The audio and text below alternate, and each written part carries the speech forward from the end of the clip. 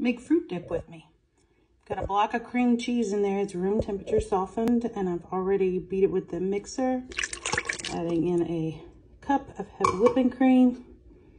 About a teaspoon of clear vanilla. Someone asked me what that is. It is just imitation vanilla flavor.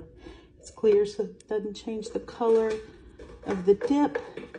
And I'm coming in here with a half a cup of powdered swerve. You use powdered monk fruit as well. It works the same. Doop. Clean off my mixer. Let's mix it together.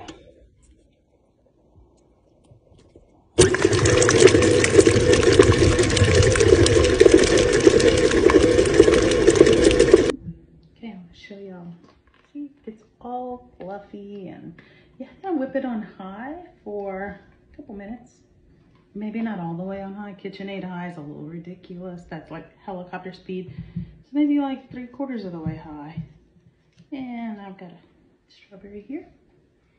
And I know I probably should put it in a bowl. Be all fancy, but it's for me.